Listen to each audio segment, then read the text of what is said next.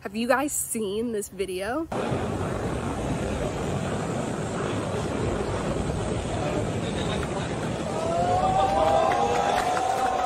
That video was made with AI, and I'm gonna give you guys three tips on how to tell if a picture or a video is made with AI. So number one, we're gonna look at any inconsistencies. Since AI is just an imitation of real life, there's gonna be some things in there that don't look that realistic. So take an extra second and look a little closer to see if there's things that don't look right or even just don't belong in there.